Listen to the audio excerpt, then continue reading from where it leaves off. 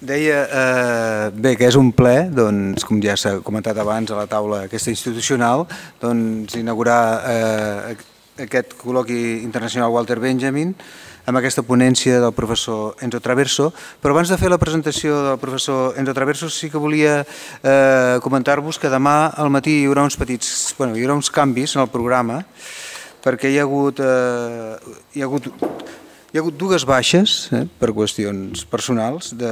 i llavors eh, el, el, el programa es començarà igualment a les 9.30 amb la conferència de, del, del professor Emmanuel Falla Llavors, eh, i llavors eh, eh, un cop eh, tingut lloc aquesta conferència, el que farem és un, un debat, una taula rodona sobre l'evolució de l'intel·lectual en el segle XX fins a la mateixa actualitat amb el mateix professor Emmanuel Faye i també el professor Enzo Traverso i el director de la càtedra Walter Benjamin, eh, Maxi Fuentes.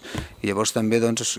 I, I una altra qüestió, després farem la presentació del llibre, d'aquest llibre que es titula Líneas de fuga hacia otra historiografia del exilio republicano, però eh, està previst que el, eh, el matí el, el, el col·loqui eh, s'aturi a les 12.30 perquè després el rectorat eh, ha convocat una concentració eh, d'estudiants a les 12.30 i per tant farem una pausa i llavors tornarem a començar el col·loqui doncs, en normalitat ja doncs, a, la, a, la, a la tarda, a les 4. Eh, volia aclarir això perquè per saber que, que hi ha hagut aquests, aquests canvis. Bé, doncs eh, ja tot seguit, comentat, comentat aquestes, aquests canvis en el programa, passo doncs, a fer una breu presentació de, del professor Enzo Traverso. Enzo Traverso és un ple, més eh, de dir personal, eh, tenir-lo aquí un altre cop, perquè de fet en el primer col·loqui eh, internacional Walter Benjamin que vam fer l'any 2009, si no recordo malament, doncs Enzo Traverso també el va obrir.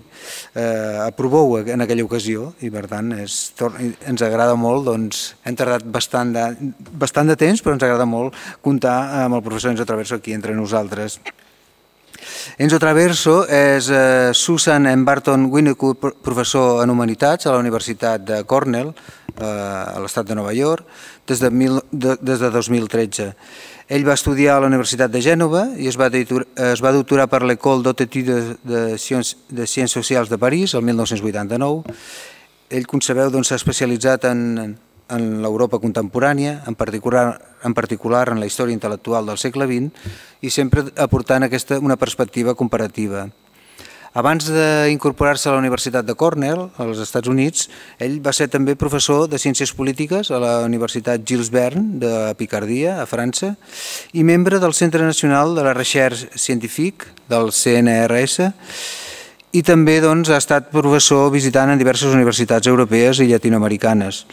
Llavors, eh, pel que fa a la seva obra, té una extensa, eh, podríem dir, obra, una extensa bibliografia i molts dels quals han estat traduïts al castellà i també algun d'ells al català. Per exemple, destaca El Pasado, eh, Instrucciones de Uso, Història, Memòria i Política, que també està traduït al català, com he dit abans, de l'any 2009, A Sangre y Fuego, La Guerra Civil Europea, 1914-1945, del, del 2010, La Història como campo de batalla, Interpretar les violències del siglo XX, el fin de la modernitat judia i ara eh, el seu llibre més recent és un llibre que es titula eh, Melancolia de Gauche en francès, no? eh, Melancolia d'esquerres, Marxisme, Història i Memòria i és un llibre que, que va aparèixer l'any 2016 i que aviat es publicarà també en castellà per l'editorial Galatxa Gutenberg.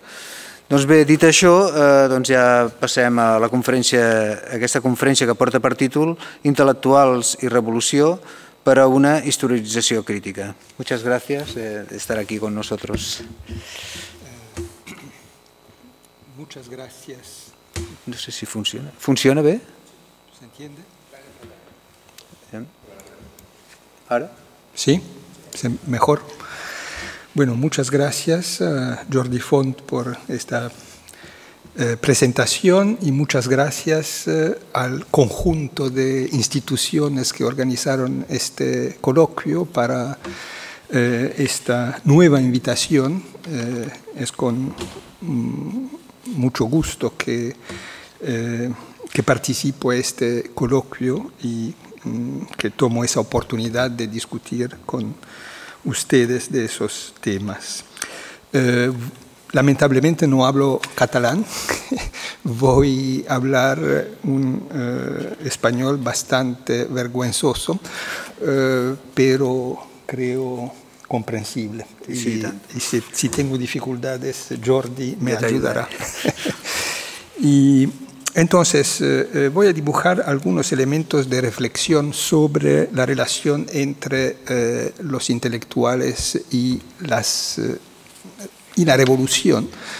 en la primera mitad del siglo XX en particular, y entonces el compromiso político de los intelectuales con respecto a la revolución y quisiera eh, empezar por una constatación muy sencilla, pero bastante significativa.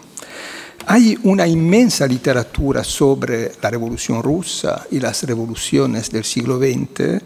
Eh, la literatura eh, sobre los intelectuales y la revolución es mucho más modesta, mucho más pequeña. Hay una enorme literatura sobre la relación muy compleja eh, hecha de eh, mm, olas sucesivas de atracciones, adhesiones y rupturas. Hay una literatura enorme sobre la relación entre los intelectuales y el comunismo. Eh, los intelectuales y los partidos comunistas en todos los países del mundo, más o menos. Eh, pero eh, la revolución es solamente una dimensión de la historia del comunismo. Y la historia del comunismo es una historia muy compleja y otra vez para nada lineal.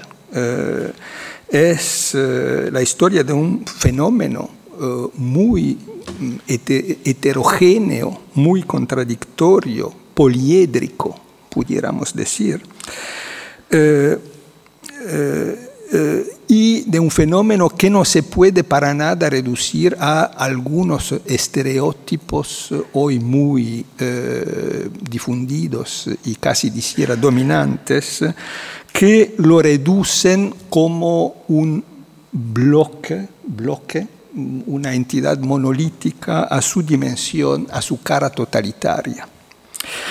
Eh, el comunismo en realidad a lo largo de todo el siglo XX eh, fue un mosaico de comunismos al plural eh, y una historización crítica del comunismo tuviera que distinguir por lo menos cuatro dimensiones fundamentales eh, en la historia del comunismo, cuatro formas principales. El formas eh, que son eh, correladas, que son... Correlativas, ¿no? Sí. sí. que son integradas, que son mezcladas, que son intermingled, que, que son eh, enchevêtrés, se diría en sí, francés. Sería ¿eh? como eh, Mezcladas, entrelazadas. entrelazadas, pero que se pueden distinguir por lo menos como tipos ideales en el sentido weberiano de la palabra. Eh, eh, eh, y esas cuatro dimensiones son el comunismo como revolución, del cual voy a hablar, el comunismo como régimen, el comunismo como anticolonialismo y el comunismo como socialdemocracia. Pero la, la, dimensión socialdemócrata del comunismo, la que las más conocida en Europa Occidental, no voy a tratarla hoy porque es la menos vinculada a, uh, al tema de la, de la revolución. Y entonces eh, intentaré definir eh, las formas eh, del comunismo y eh, la relación que los intelectuales eh, establecieron con eh, esas formas de comunismo. Primero, el comunismo como revolución. Es la forma del comunismo que se presta.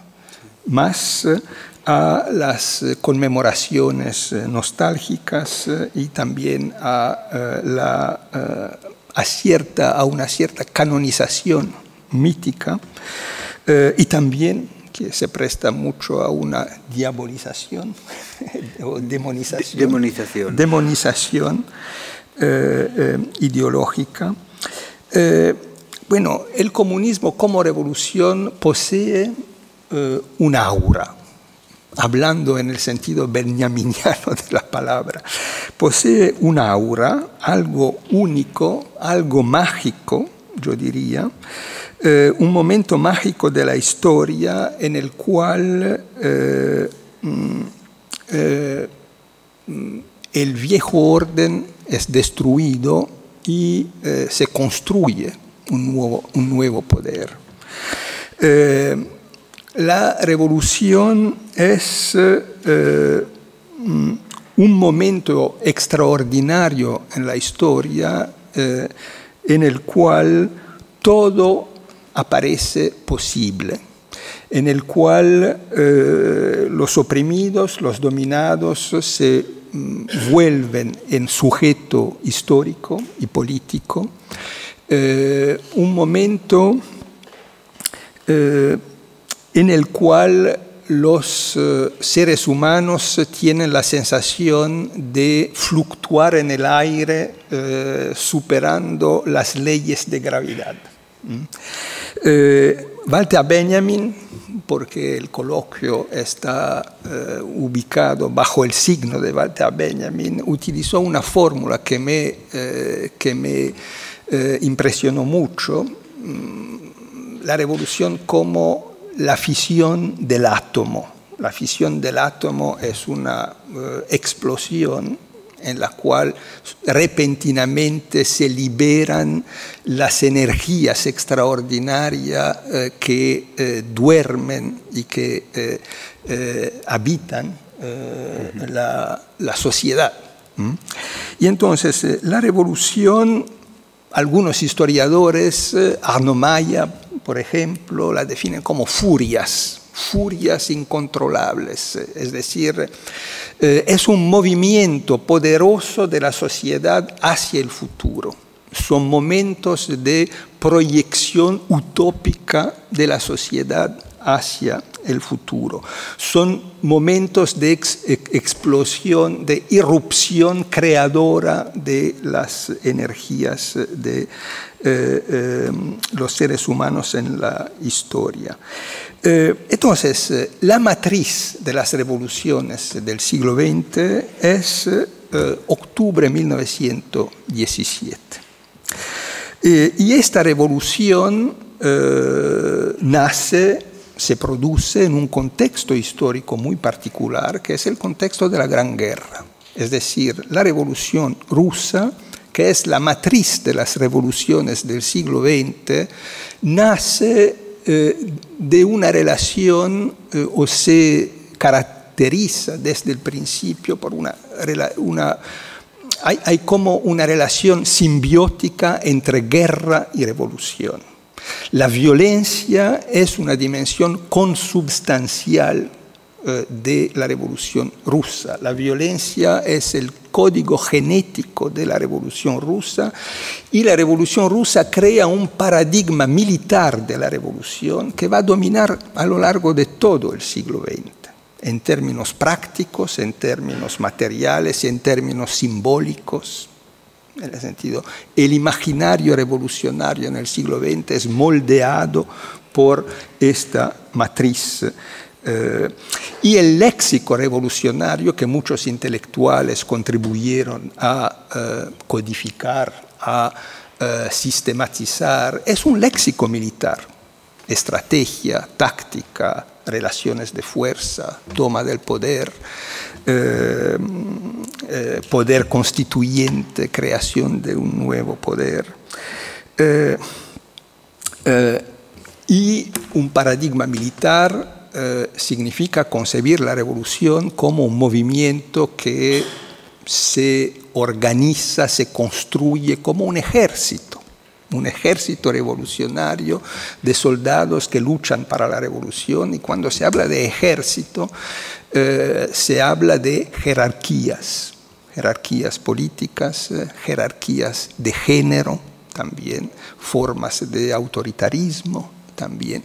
Todo eso participa de esa experiencia fundadora de las revoluciones del siglo XX, que nace de una guerra que fue una eh, inmensa masacre. 12 millones de muertos y entonces después de la Gran Guerra y de la caída del orden europeo del siglo XIX no se puede concebir la acción política y la revolución sin pasar por las armas. Eh, y eh, esa consideración eh, esa consideración eh, de repente plantea un problema con respecto al compromiso político de los intelectuales. Los intelectuales se vuelven en eh, soldados o en, digamos, oficiales de este ejército revolucionario, si se vuelven en intelectuales orgánicos, de los movimientos revolucionarios, hablando en este caso con Gramsci, eh, inevitablemente eh, eh, ponen, ponen, en cuestión unos de los rasgos que define el papel de los intelectuales, es decir, el intelectual como sujeto que encarna una autonomía de pensamiento crítico. La relación entre los intelectuales y los partidos comunistas siempre fue una relación muy conflictiva y muy compleja porque esa adhesión implicaba inevitablemente una limitación de la autonomía de pensamiento crítico de los intelectuales. Eh, y entonces, eh, eh, la revolución es, es un proceso o un estallido que, que, se enfrenta desde el principio en este conflicto entre liberación y autoridad. y por lo que concerne el compromiso de los intelectuales, un conflicto entre disciplina y, hablando con Anna Arendt en este caso, eh, Selbstdenken, es decir, eh, una capacidad de, pensamiento propio e independiente. Después, el comunismo como régimen, para introducir el tema y, después eh, estudiar un poco la configuración del, mundo intelectual. El comunismo régimen surge de las revoluciones y pertenece a una segunda etapa que es la construcción de un nuevo poder eh, y el comunismo régimen es autoritario y a partir de la década de los 30 eh, será también totalitario. Eh, acaba la efervescencia revolucionaria, la revolución como estallido liberador, sufoca el espíritu emancipador de las revoluciones, pero el comunismo régimen, yo creo, no puede ser definido contrarrevolucionario. Eh, eso era mi planteamiento cuando yo era un militante trotskista eh, hace tiempo. Bueno, para mí era claro que había revolución y contrarrevolución y que el estalinismo era la contrarrevolución. Bueno, ahora creo que las cosas eh, son mucho más complejas y que es, es muy difícil de separar radicalmente revolución y estalinismo.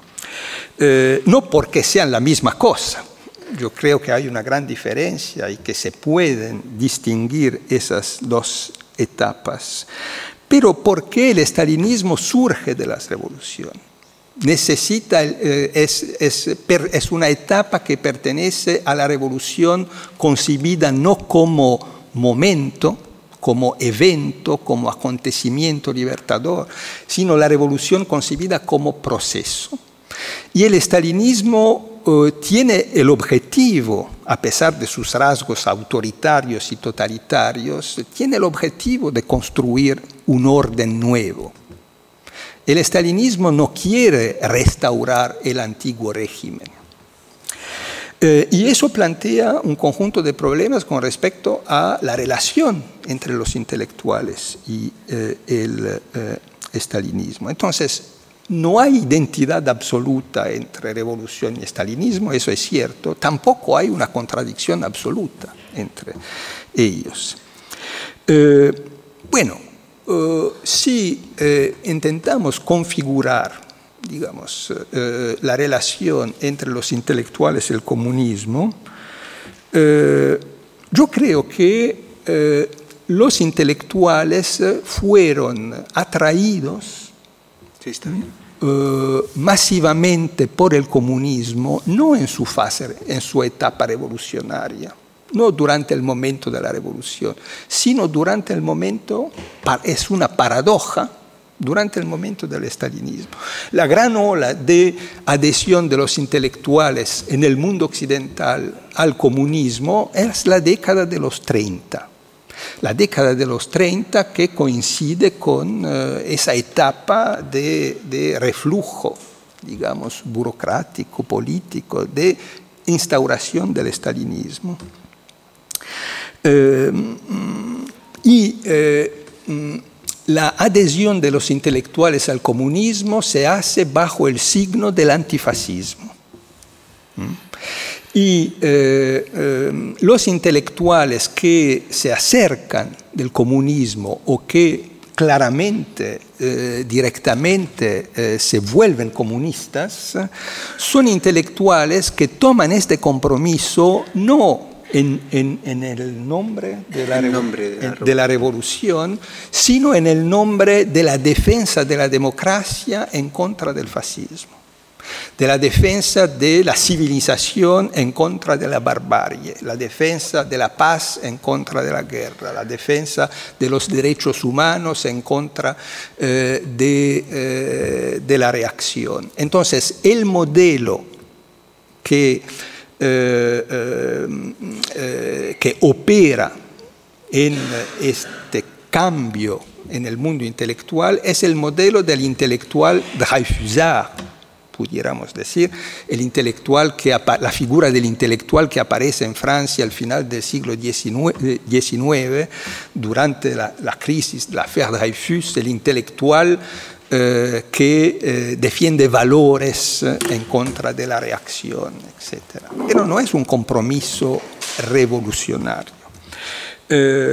entonces, es la figura del intelectual, hablando con Zygmunt Bauman, el intelectual legislador, es decir, que, que define un horizonte ético-político bajo el cual se puede actuar políticamente. Es decir, la paradoja es que eh, esta adhesión de los intelectuales al comunismo se hace en el nombre de los derechos humanos, del humanismo, eh, eh, en el momento en el cual el comunismo se vuelve muy autoritario y, y totalitario. Y esta es una contradicción del mundo intelectual, pero es una contradicción que surge de las contradicciones mismas de la revolución como proceso. Eh, es eh, eh, la revolución rusa que aparece como una defensa, una barrera en contra del, del fascismo. Y como dije, esta ola de adhesión de los intelectuales al comunismo se produce en los años 30. El impacto de la revolución rusa en el mundo intelectual es, me parece, a partir de una mirada retrospectiva y de una historización, muy limitado. Muy limitado. La cultura europea ah, al final de la Gran Guerra es dominada por el nacionalismo y podemos eh, muy, rápido, eh, muy rápido hacer un de, en Alemania. En Alemania eh, domina la, dicha revolución conservadora. Las figuras que, que, dominan el debate al final de la Gran Guerra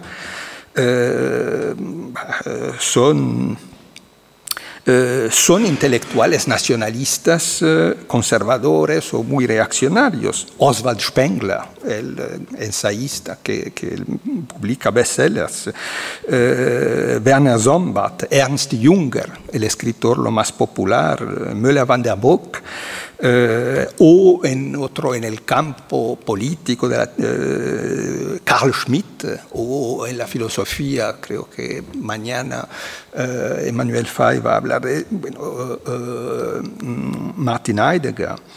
O hay eh, intelectuales eh, de izquierda que pero no son atraídos por la revolución, que es Albert Einstein, que es un gran eh, científico, se vuelve pacifista después de la guerra y se acerca de la socialdemocracia, pero no es un compromiso revolucionario.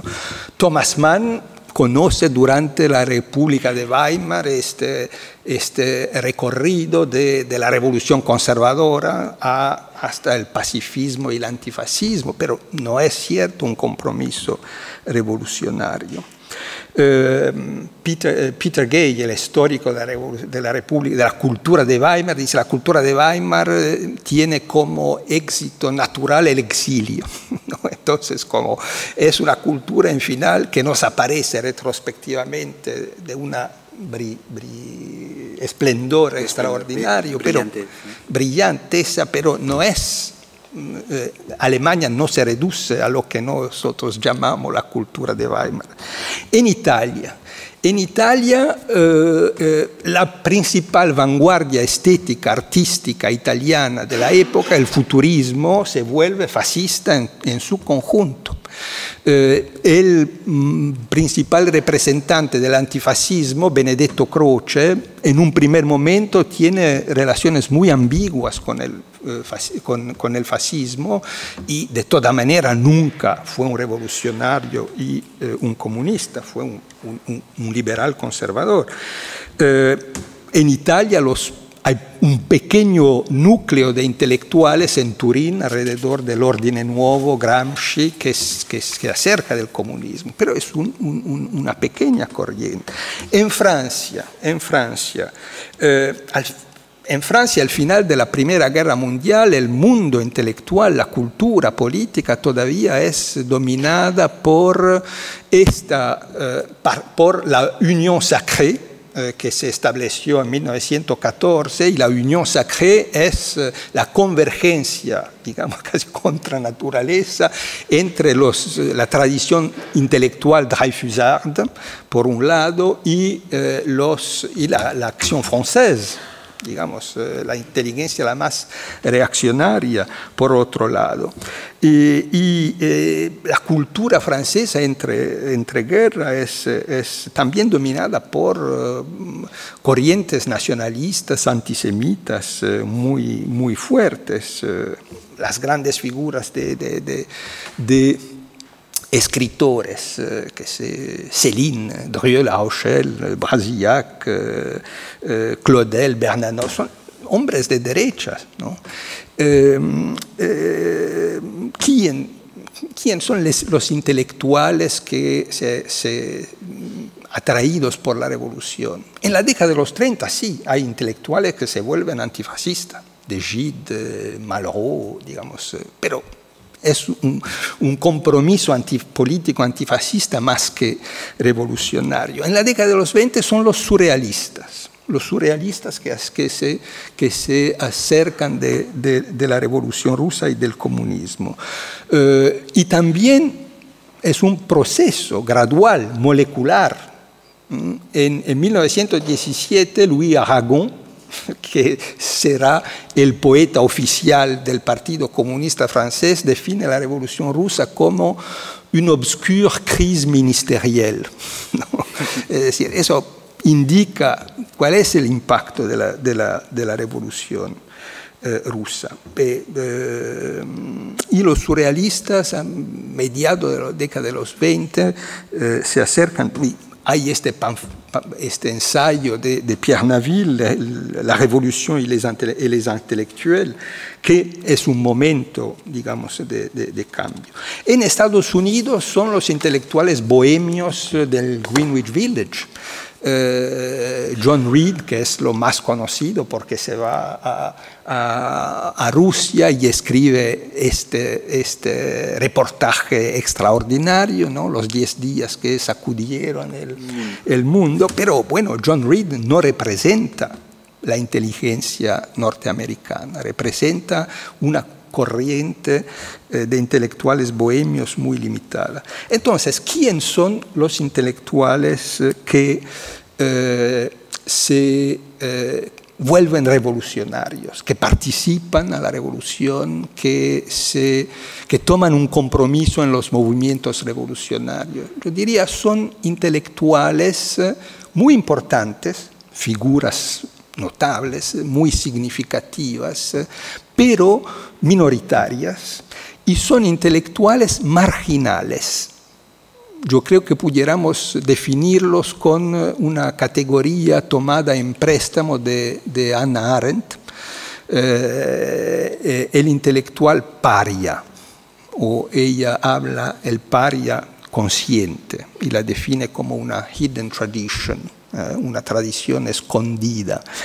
Eh, son intelectuales paria en el sentido de que son intelectuales que actúan fuera del poder, fuera de las instituciones, que no tienen ninguna, ningún reconocimiento institucional, que son también muchas veces socialmente eh, marginales y que en muchos casos pertenecen a minorías eh, estigmatizadas en el espacio público.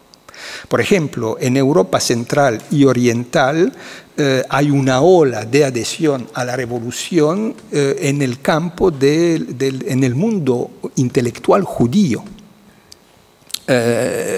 quien hace la revolución espartaquista en enero de 1919 el movimiento espartaquista, la figura simbólica es Rosa Luxemburgo y hay un conjunto de intelectuales judíos.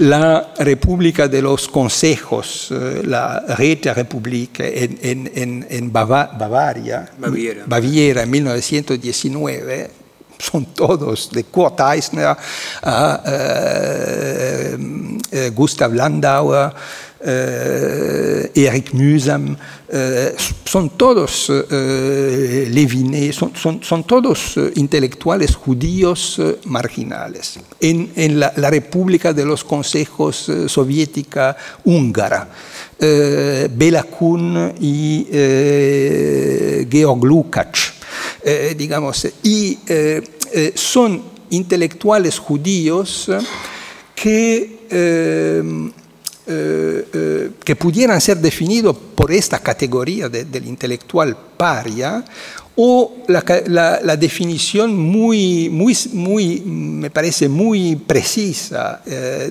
que sugirió Isaac Deutscher, non-Jewish Jew, es decir, el judío no judío. Es decir, son judíos que rompieron con el judaísmo como religión son eh, ateos eh, y secularizados y, eh, heréticos, pero son estigmatizados como judíos en, países y en culturas moldeadas por el antisemitismo. Entonces, son judíos en el sentido casi sartriano de la palabra, judíos por la mirada del otro. ¿No? Eh, par le regard de, de, l'autre. Eh, y eh, en Europa Central son muchísimos los intelectuales judíos que se acercan y, grandes figuras de, no tanto Benjamin en, en, a partir de 1925, pero muchos otros. Y la, Escuela de Francoforte nace como un proyecto de establecer en Alemania el equivalente del Instituto de Marxismo-Leninismo de, Moscú. Y después, antes de la, de, la dirección por Horkheimer de, de la escuela. Pero esa es la tendencia. En Rusia, en Rusia se dijo que los eh, judíos eran la banca de sangre de la revolución, es decir, los bolcheviques, los mencheviques, todos los líderes, la gran mayoría de los líderes son, eh, son eh, judíos. Entonces, son heréticos que rompieron con el judaísmo como religión en nombre de un universalismo y de un cosmopolitismo que supera los conflictos nacionales. pero no hay solamente los judíos. Por ejemplo, hay el feminismo hay corrientes feministas que, que, son muy atraídas por la Revolución Rusa.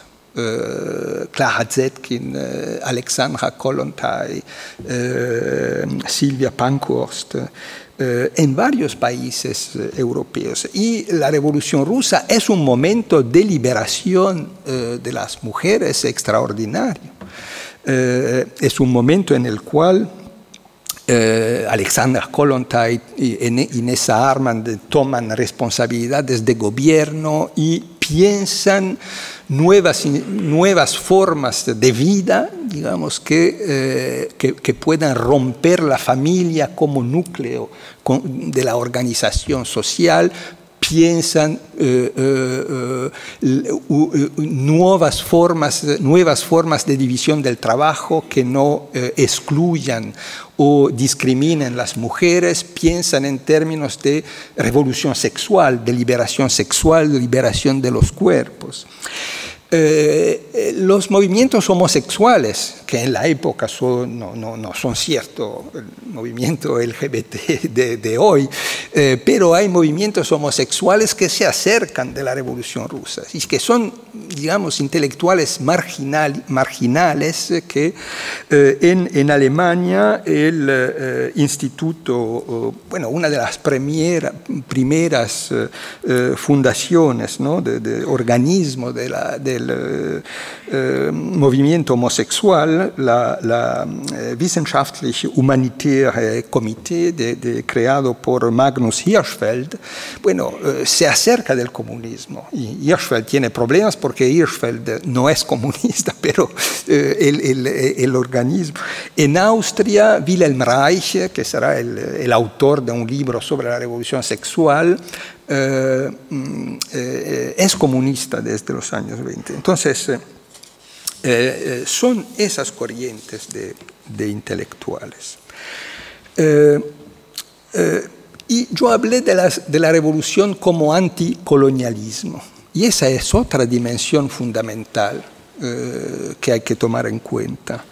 La revolución rusa es el principio del proceso de decolonización en el siglo XX. Eh, y eso por, varias razones, entre otras porque Rusia geográficamente tiene una posición crucial entre el mundo occidental y, entre, Asia y el sur del mundo. Eh, y eh, em, em, la revolución rusa tiene un impacto muy fuerte en el sur del mundo.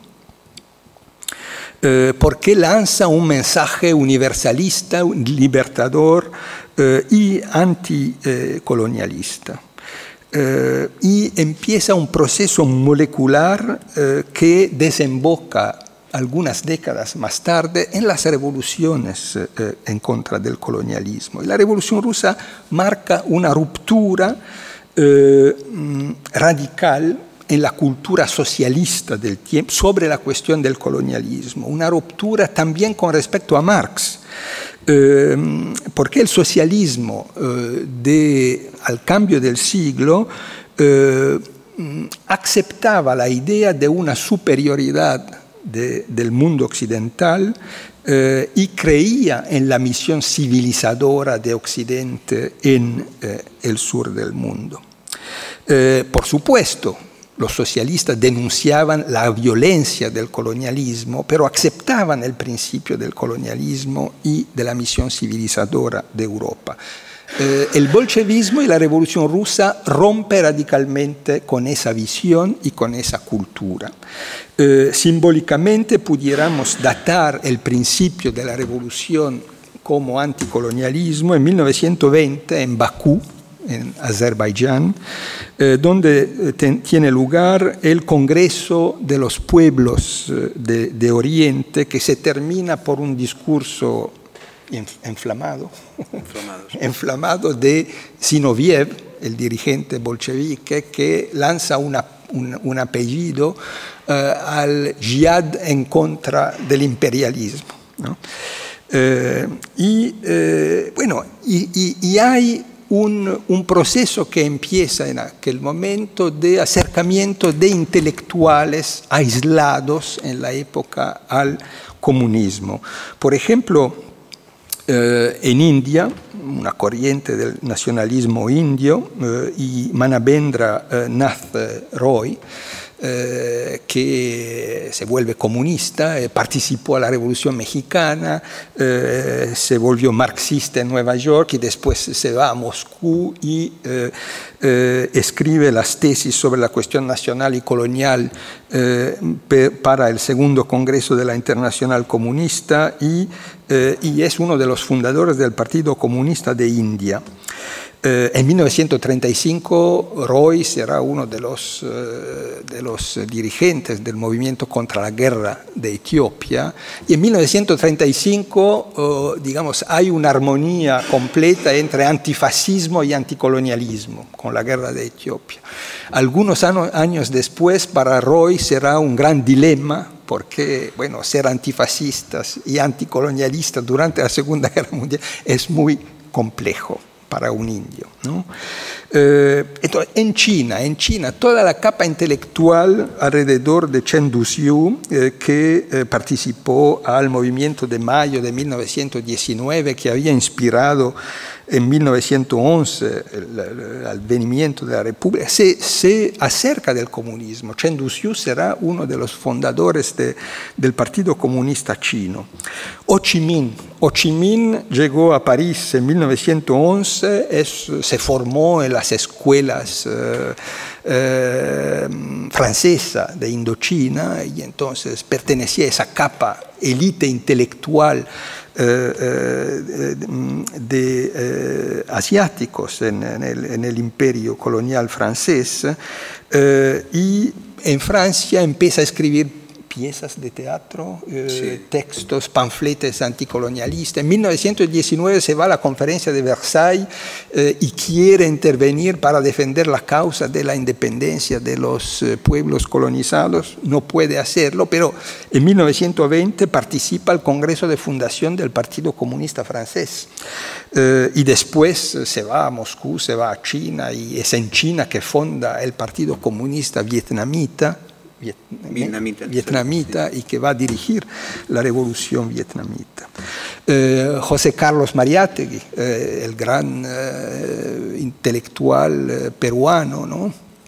fundador del indigenismo y fundador una de, lo, de las grandes figuras del marxismo latinoamericano que viaja a Europa en particular a Italia, pero también a Francia y Alemania, eh, al final de la Gran Guerra y vuelve a Perú y, y, y concibe un proyecto latinoamericanista, digamos, de, de, de, de revolución panamericana. Eh, eh, y, y en, en, Jamaica y en Trinidad, George Padmore eh, en Trinidad, eh, uno de los fundadores del movimiento panafricanista, a 21 años eh, se vuelve comunista. en 1924, C. C. C. James, C.L.R. James, que es un poco más tarde otro intelectual negro de Trinidad, eh, que es muy conocido eh, por su gran libro sobre la revolución en Haití, Los Jacobinos Negros. Eh, bueno, dice que eh, decidió de escribir Los Jacobinos Negros después de haber leído la eh, historia de la revolución rusa de Trotsky. Eh, entonces, el, el, el, impacto fue muy fuerte. tengo un poco, sí. cinco minutos. Sí. Tienes eh, tiempo aún. Sí. Bueno, eh, bueno, son consideraciones muy generales y muy superficiales. Se puede establecer un ideal tipo del intelectual revolucionario eh, en los años entre guerras.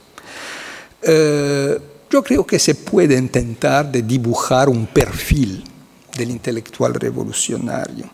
Eh, digamos, eh, eh, yo tomo como referencia el ensayo muy conocido, por lo menos por los en la ciencia política, en la teoría política, el ensayo de Carl Schmitt sobre el partisano, partisano, sobre el partisano, introduciendo algunas variantes, por supuesto. Eh, dice, el, intelectual revolucionario tiene un compromiso ideológico muy fuerte. Eh, eh, su pensamiento crítico es puesto al servicio de una causa política y de un proyecto político.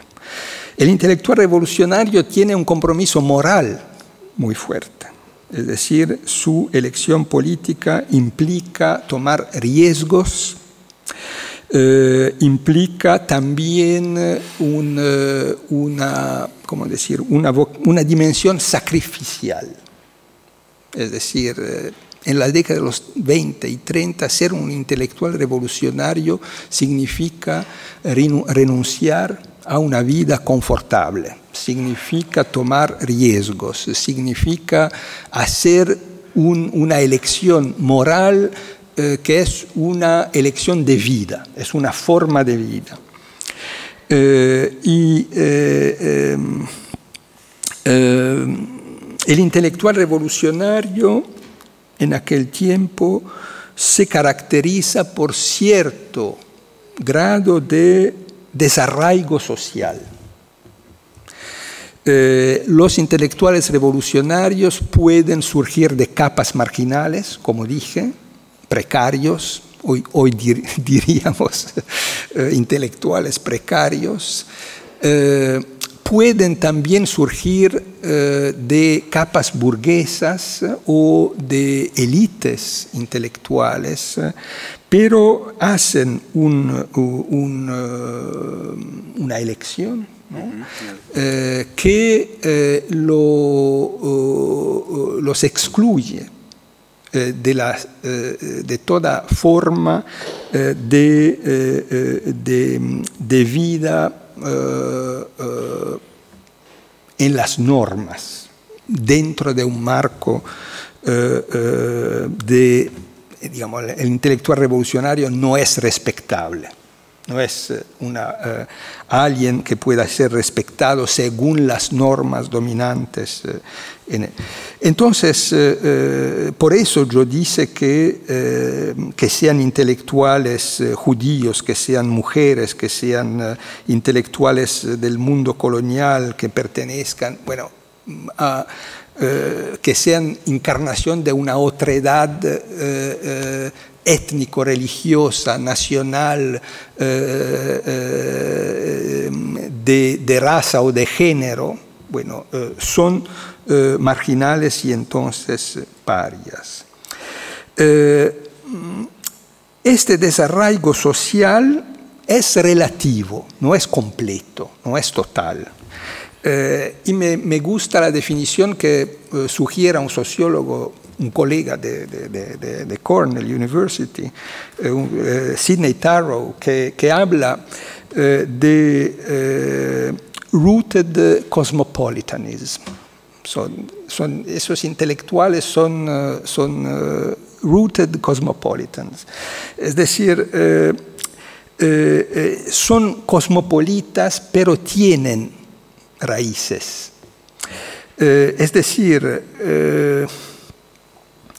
eh, si, eh, eh, fueran, si fueran totalmente desarraigados, no pudieran volverse en líderes de un movimiento de masa. si fueran totalmente integrados, no serían disponibles para, para, tomar medidas radicales, para hacer elecciones tan radicales. Entonces, eh, son marginales, pero buscan raíces, attach, roots.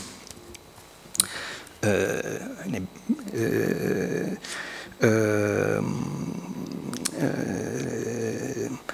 hay una definición de Mannheim que, que pudiera ser interesante de de, este, de, este, punto de vista. Entonces, participan de la revolución como, como una experiencia global. y el comunismo para ellos y la Internacional Comunista en particular, es un lugar de transmisión de culturas, de prácticas revolucionarias a una escala global.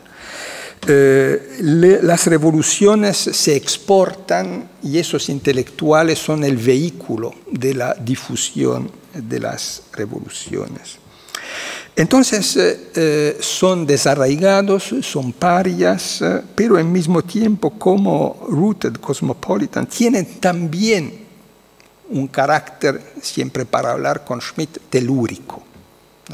Eso no es el caso, digamos, de los judíos de Europa Central, pero cierto es el caso de los chinos, de los vietnamitas, de, eh, muchos intelectuales que se vuelven en figuras carismáticas y líderes de movimientos, de revoluciones eh, coloniales.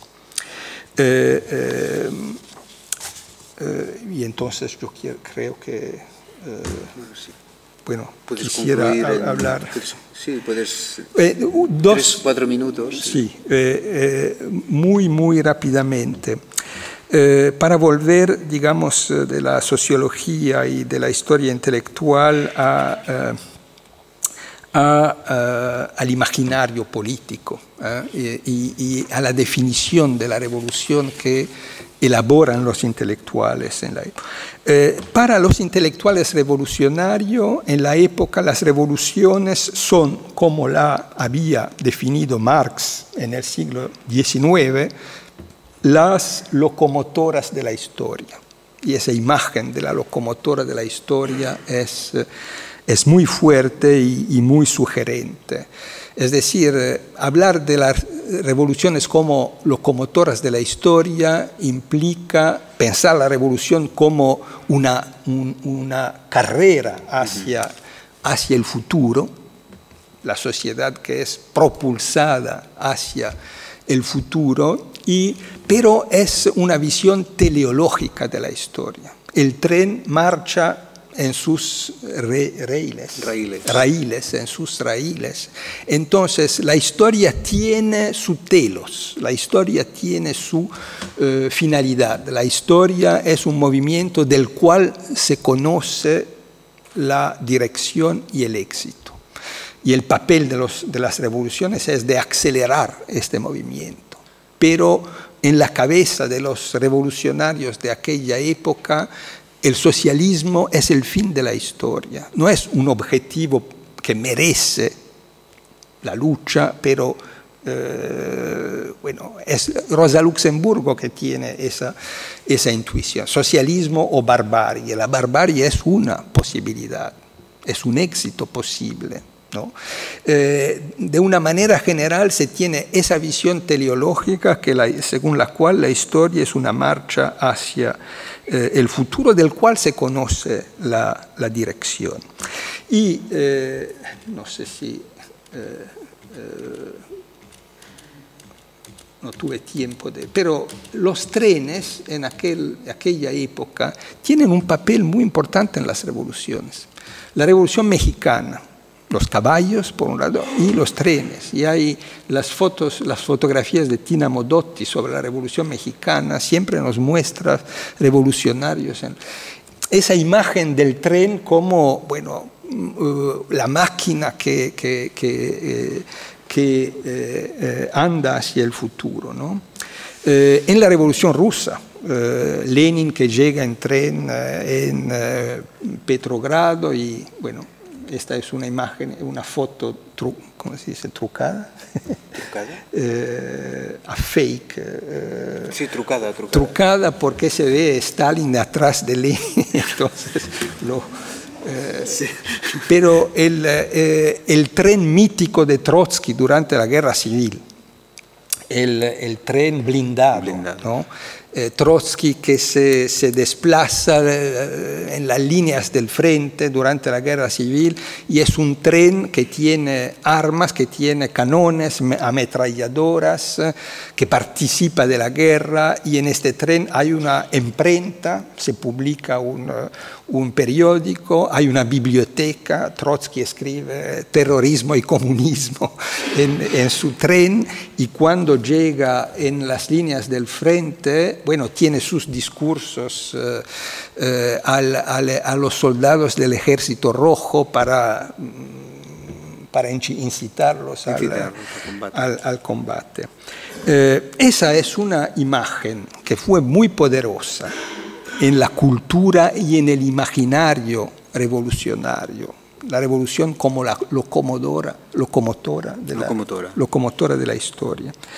Y después hay otra imagen eh, que es eh, en la época desconocida o mucho más, eh, digamos, críptica, y, y, y, pero que es mucho más cercana de nuestra sensibilidad de hoy es la definición de la revolución que, que, eh, de, que eh, ha, dado ha, dado Walter Benjamin en eh, sus tesis sobre los conceptos, en, en, los materiales preparatorios a las tesis sobre el concepto de historia y eh, en su libro, ¿no? en su ensayo Einbahnstraße, que es eh, sentido, sentido único. ¿no?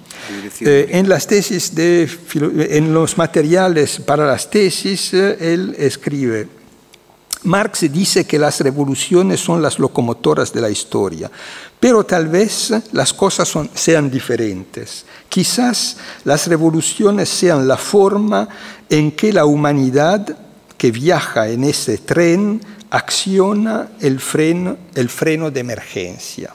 Es decir, la historia es una marcha hacia la catástrofe, hay que, eh, sacar el, el, freno de emergencia para, impedir. En este caso, eh, es una visión de la revolución que no es para nada teleológica, eh, que es todo lo contrario. La revolución es un cambio radical de civilización la revolución es, eh, eh, se detiene la, carrera del tren y se cambia dirección, se cambia, se cambia marcha. Eh, en 1928, senso, Sentido Único, él escribe también, ofrece, sugiere otra imagen, dice, la revolución es la interrupción de un proceso catastrófico, si esta interrupción no se cumple antes de un momento casi calculable de la evolución técnica y científica, indicando por la indicado por la inflación y la guerra química, todo se habrá perdido. Es preciso cortar la mecha antes de que la chispa alcance la dinamita. Esa es otra imagen muy, muy fuerte y las tesis de, de, filosofía de la historia definen la revolución como un salto de tigre en el pasado. ¿no? Es decir, la revolución sí es uh, un, un, uh, un, movimiento hacia el futuro, pero la revolución es este, este Jetztzeit, este, este tiempo presente, tiempo en el cual el pasado y el presente chocan y el pasado puede ser reactivado y la revolución no es solamente eh, conquista el cielo por asalto, la revolución es también una redención de los vencidos de la historia y entonces eh, la posibilidad de rescatarlos. ¿Mm? Y yo creo que esa, esa visión es eh, bastante eh, cercana de nuestra, eh, de nuestra sensibilidad, pero digamos es una visión también que surgió en aquel contexto de Europa entre guerras. Y me, me detengo acá. Bien, eh, moltes gràcies, professor.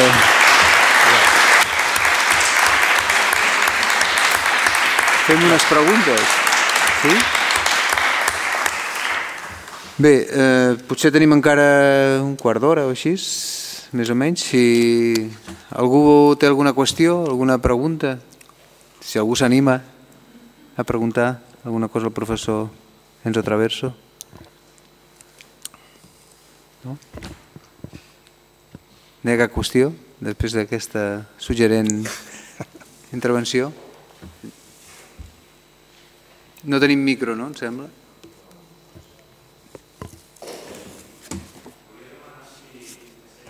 Millor en castellà perquè... No, sí. Sí, si me ayudas. No. Bueno, normalmente entiendo el catalán, pero... no, en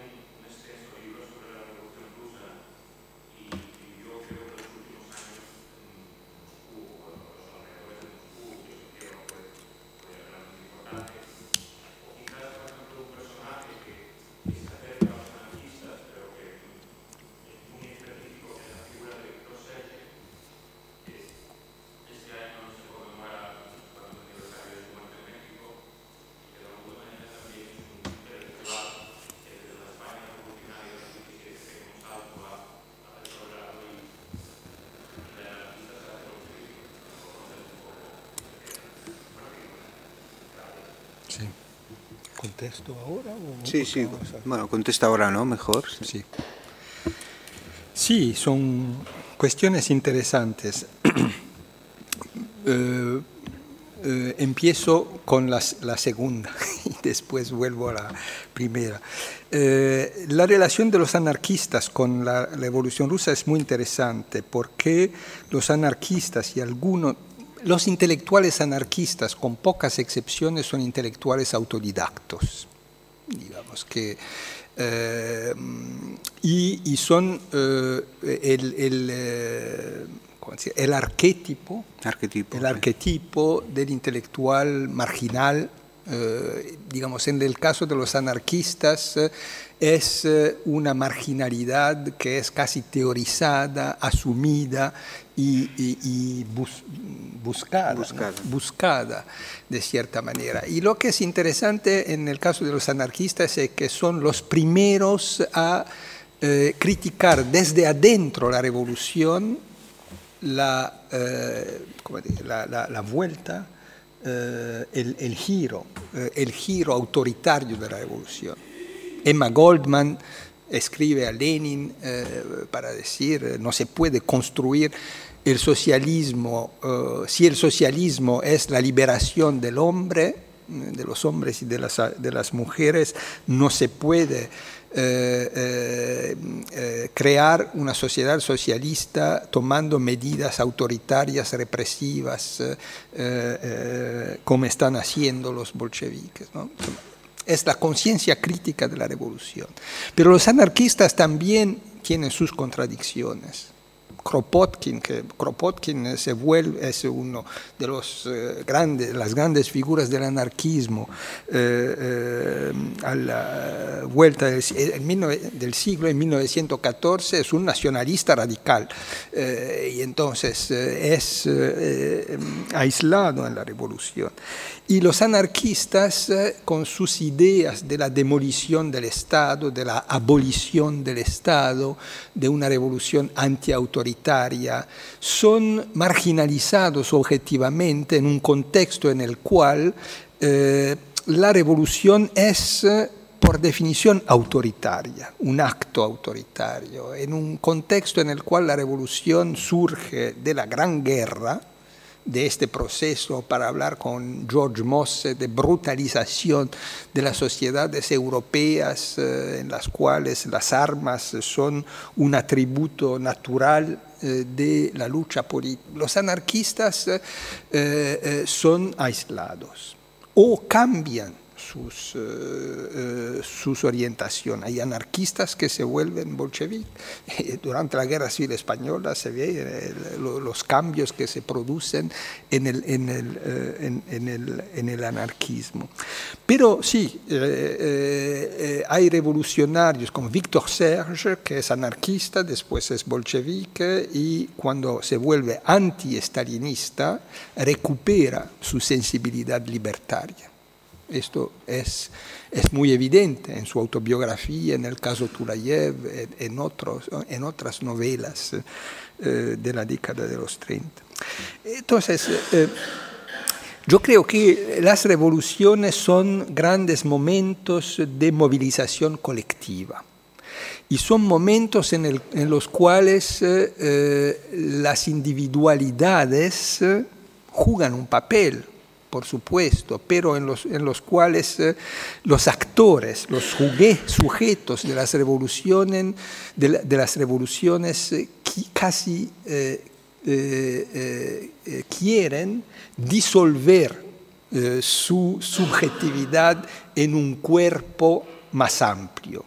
Es decir, e, es un momento de gran comunión universal en el cual tenemos el placer de compartir, de actuar juntos eh, y mi vida particular no conta nada, porque soy, soy parte de un movimiento colectivo que me supera, que me integra, que, en el cual es un placer disolverse.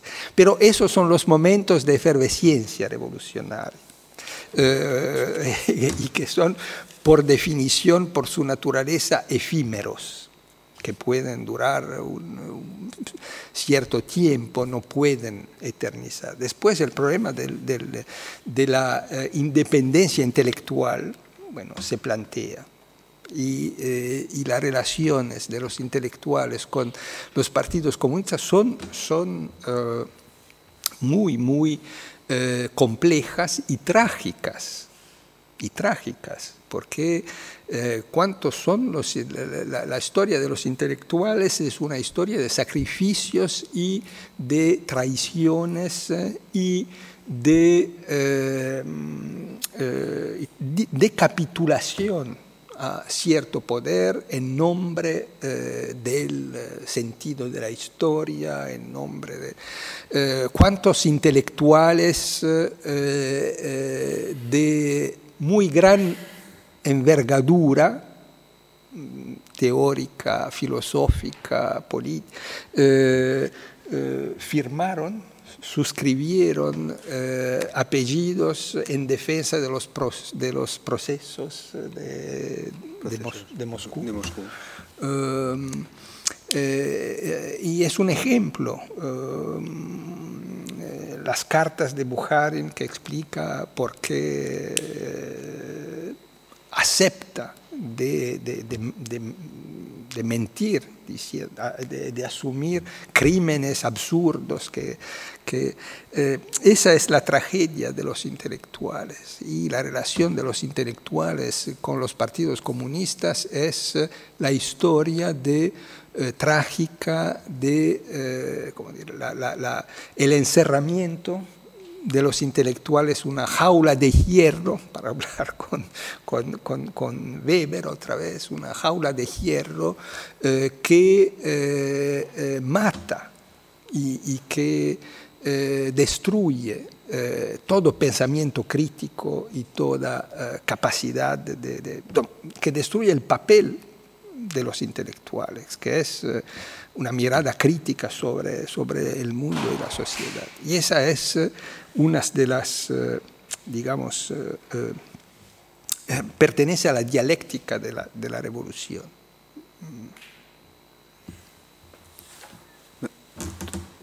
Tu Angel, pria.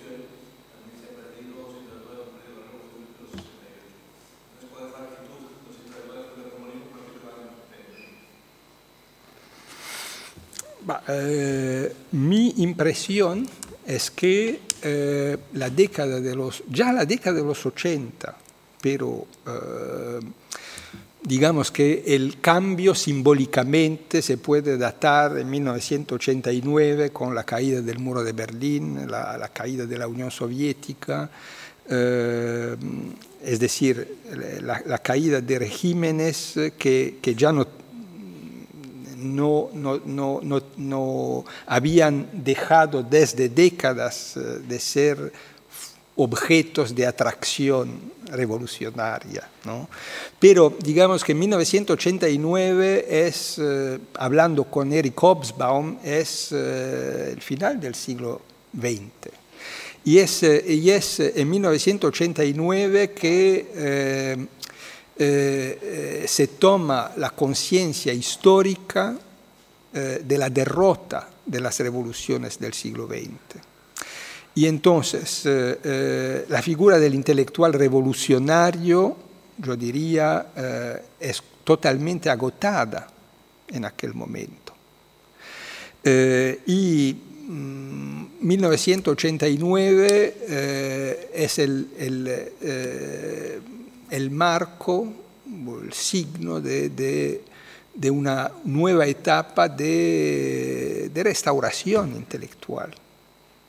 Eh, Perry Anderson eh, escribe que Francia, que fue la capital del pensamiento crítico eh, de izquierda en la en las décadas de los 60 y 70 se vuelve la capital de la reacción europea, como, um, eh, como fue Londres después de, o como, como fue eh, San Petersburgo en 1848. Es decir, hay un cambio radical y, eh, y hay una, um, un trabajo del duelo de las revoluciones del, siglo XX que se empieza, y que es un trabajo subterráneo, es un, es un trabajo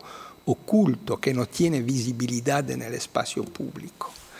Eh, y es algo bastante trágico porque eh, 1989, yo me recuerdo muy bien porque he vivido eh, ese, momento, es un momento eufórico. Durante algunos meses eh, parece que la caída del muro de Berlín es un gran momento de liberación.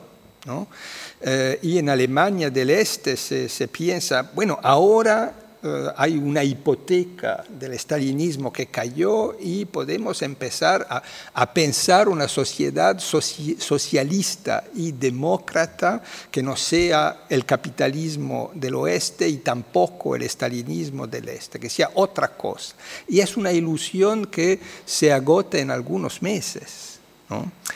Eh, y lo que pasa es eh, la toma de conciencia de que, el comunismo es una experiencia histórica del siglo XX acabada, que las revoluciones eh, fueron derrotadas, empieza una nueva era en la cual la socialdemocracia no juega más el, papel histórico que fue el papel de la socialdemocracia, de reforma social, de redistribución de la riqueza, de, em, mejoración. Bueno, la, socialdemocracia se vuelve en una fuerza política que acompaña el, advenimiento del capitalismo neoliberal en todos los países del, del mundo occidental.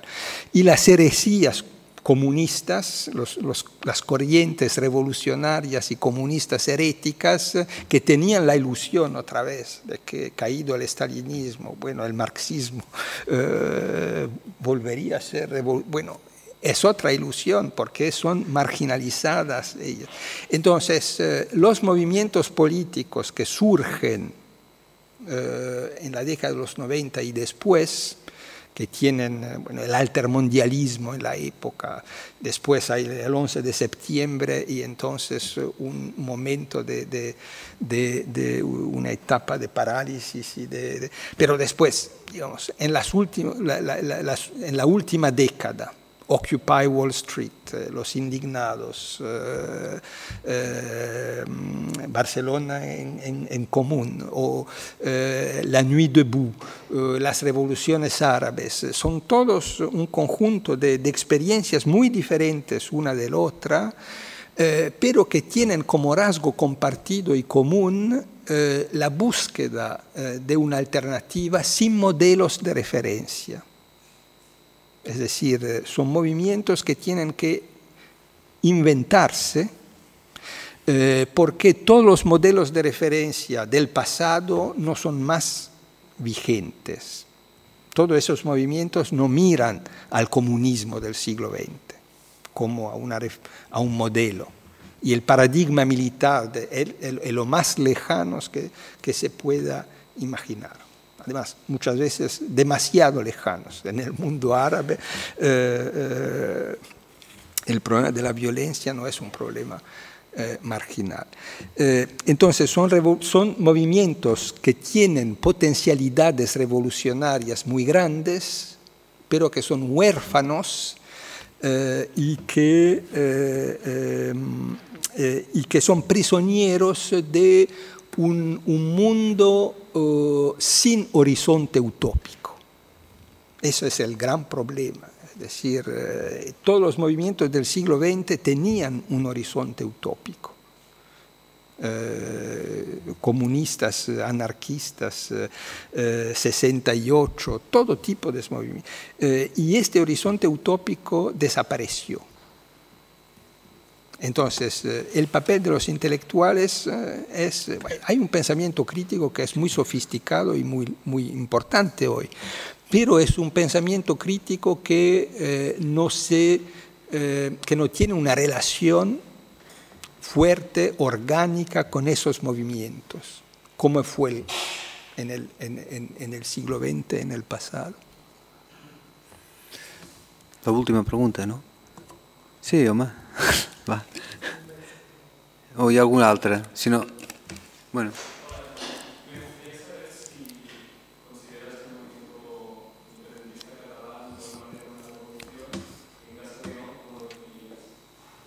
¿Y?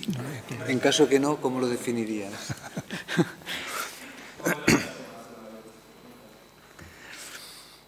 digamos que, que mm, no, eh, no me siento autorizado para, hablar de, eso. Eh, una revolución en el sentido de las revoluciones del siglo XX, me parece que no. No se puede, cierto, hacer una comparación de este tipo no veo la troika que, se, que está traumatizada y que dice enviamos las tropas eh, eh, porque si Barcelona eh, se declara capital de la, Cataluña independiente. Digamos, es un contexto totalmente distinto, entonces no hablaría de revoluciones. Pero lo que ocurre hoy en Cataluña tiene algunas, eh, digamos, es también el producto de una historia muy larga eh, eh, y de una herencia del pasado. Es decir, las medidas represivas del gobierno central tienen un sabor, un sabor, un sabor, neofranquista que nos, que, nos reenvía a un, pasado. que es el pasado del cual estamos eh, discutiendo. Pero digamos que en Europa occidental, y Europa occidental no es el mundo, y en el mundo global de hoy Europa occidental es algo muy pequeño, es, una, pequeña, eh, un pequeño pedazo del, mundo global. Bueno, después de por lo menos tres generaciones que vivieron en un contexto de paz, eh, eh, hablar de, ese, de, de, de, este pasado y del compromiso político de los intelectuales con respecto a la revolución significa eh, reflexionar históricamente. Mm, es decir, eh, yo, siempre insisto sobre un punto, ¿no? Eh, es decir, hay que los anacronismos históricos pueden ser fructuosos si se asumen conscientemente. Es decir, hago una comparación entre dos periodos totalmente diferentes porque puede ser un trabajo epistemológicamente fructuoso. Pero para hacerlo hay que evitar toda transposición.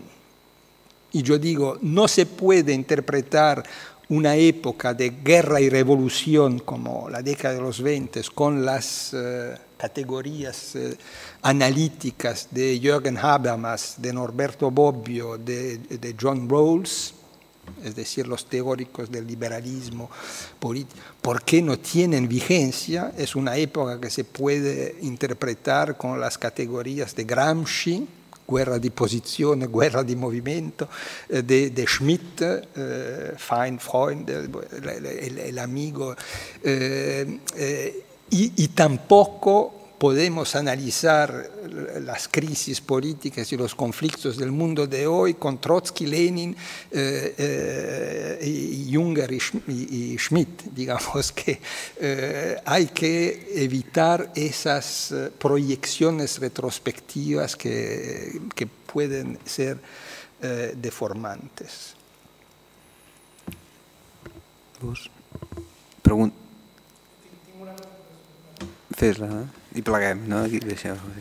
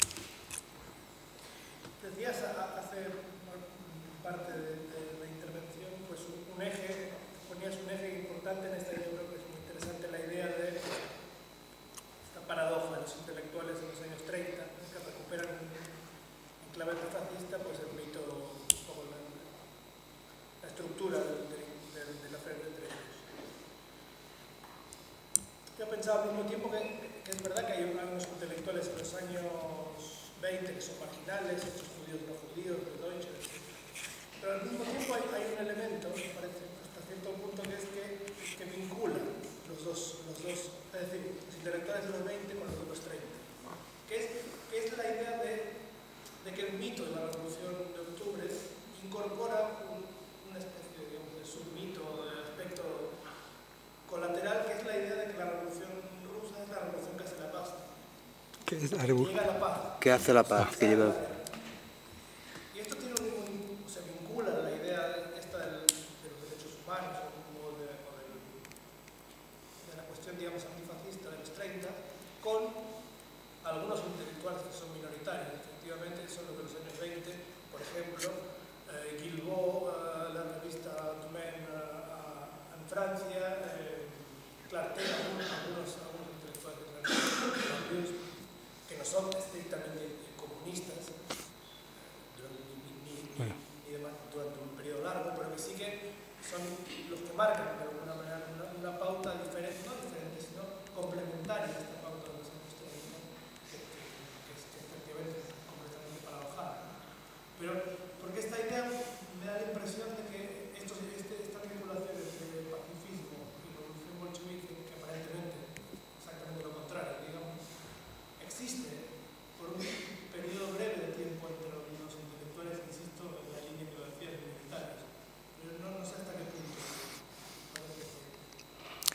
Sí, yo creo que el tema de la paz es una búsqueda eh, que es muy, eh, ¿cómo decir? eh,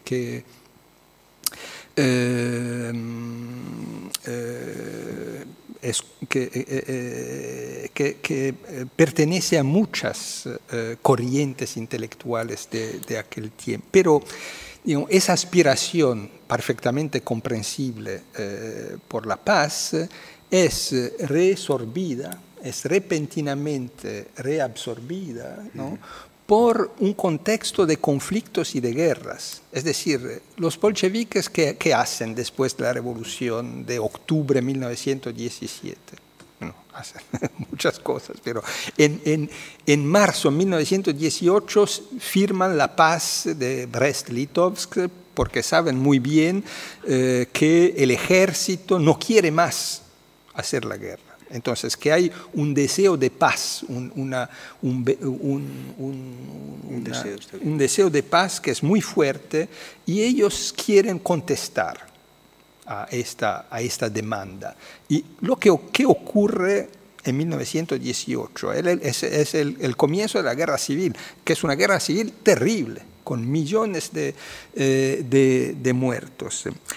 Eh, en Alemania, después eh, los, el gran libro de Erich Maria Remarque, el pacifismo es una ola muy fuerte. Eh, Albert Einstein eh, se vuelve pacifista dice, y hay, bueno, el pacifismo es tan fuerte que hay la declaración eh, Briand-Kellogg, ¿no? nunca más la guerra como arma, como solución de los conflictos, etc. Y bueno, algunos años después, Einstein, eh, eh, con su carisma de gran figura, eh, va a hablar con Roosevelt para convencerlo de, fabricar la bomba atómica. ¿no? ¿Por qué? No porque se volvió un bélico, belici, Belicista. Belicista. Porque dijo, bueno, si eh, la Alemania nazi eh, se eh, construye una bomba atómica, bueno, hay que, hay que y Albert Einstein deja su pacifismo. El antifascismo tiene una, una componente pacifista, pero el pacifismo en, en 1938 aparece como una traición y una capitulación el, durante la guerra, la guerra, en 1936 en España no es, no es más posible ser pacifistas. Los intelectuales que, que intentan, que rechazan elegir su campo, eh, Ortega y Gasset, por ejemplo, bueno, que no, no hacen una... son mm, necesariamente marginalizados. El pacifismo es una, una una, eh, decir? una aspiración muy fuerte eh, que en aquel contexto no puede desembocar en un movimiento eh, eficaz. Una altra qüestió?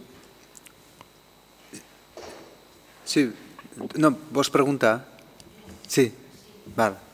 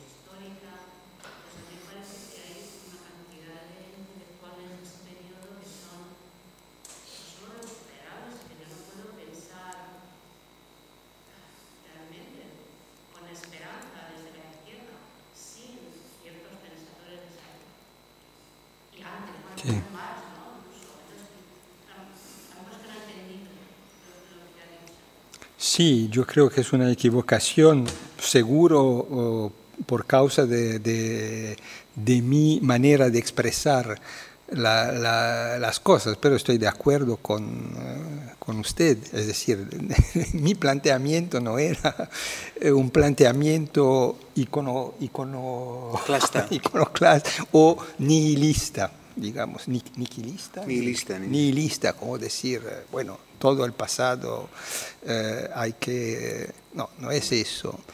Eh, pero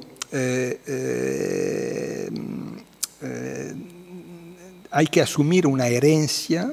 Mi idea de, de, melancolía de izquierda es la idea de un trabajo fructífero, fructífero, fructífero de, eh, del, del, duelo de las revoluciones derrotadas eh, para reconstruir un proyecto.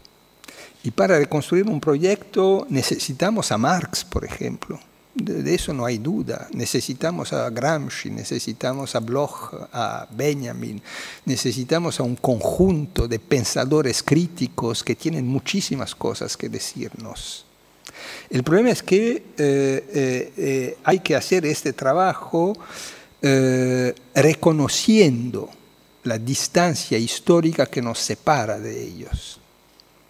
Yo creo que la izquierda nunca podrá renacer y lograr algo si intenta simplemente reproducir los modelos del pasado, que son modelos que fracasaron esto es el tema.